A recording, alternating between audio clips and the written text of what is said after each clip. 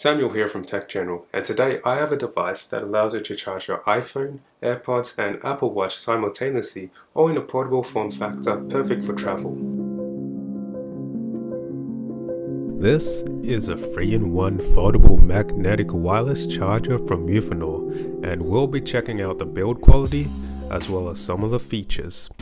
First we'll start with an unboxing, typical packaging showcasing the product and features.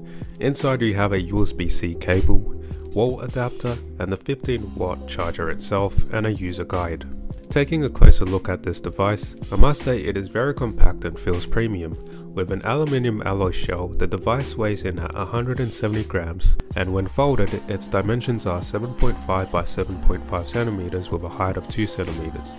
This makes it perfect for traveling, easily fitting into small bags or pockets. There's a latch you can pull out for the AirPods charging section, which also exposes another section for charging your Apple Watch.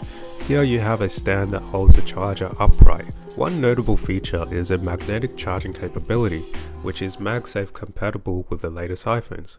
Unfortunately, I couldn't test this out as I have an iPhone XS, but it still charged my device without any issues.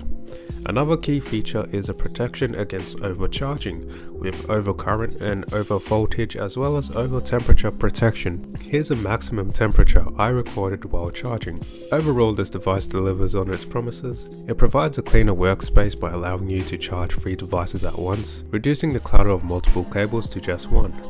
Its compact design is ideal for portability and the build quality is impressive. If you're in the market for a new charger, this is definitely one to consider. I'll leave a link down below if you're interested. Thanks for watching and peace.